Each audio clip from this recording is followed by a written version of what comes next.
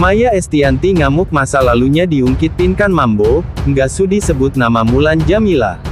Pinkan Mambo tahu betul jika mantan rekan duetnya di Duo Ratu, Maya Estianti, sangat membenci Mulan Jamila. Kabarnya, Maya belum juga memaafkan perempuan yang sekarang jadi istri dari mantan suaminya, Ahmad Ahmad Dhani. Karena itu, Pinkan Mambo sempat menggoda Maya soal Mulan. Momen tersebut terjadi ketika Maya dan Pinkan tampil di sebuah festival. Aku godain, Bunda nanti ada Mas Dani lo, nggak nungguin Mas Dani sampai abis.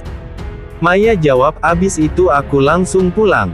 Kata Pinkan Mambo sambil tertawa dikutip dari YouTube SCTV, Senin tanggal 28 November tahun 2022.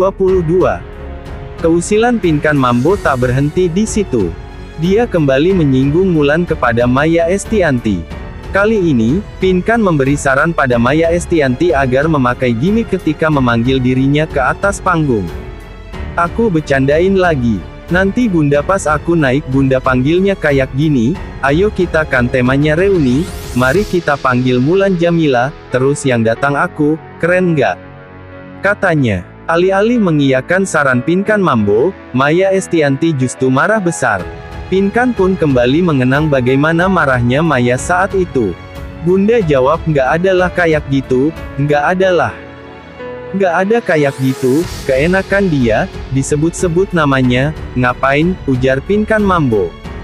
Kan aku mirip sama Mulan, Bunda. Aku bilang gitu, katanya lagi kembali tertawa. Sudah jadi rahasia umum jika hubungan Maya Estianti dan Mulan Jamila memburuk. Kabar yang beredar, Mulan merebut Ahmad Dhani dari Maya. Tapi, baik Mulan maupun Dhani telah membantah kabar tersebut.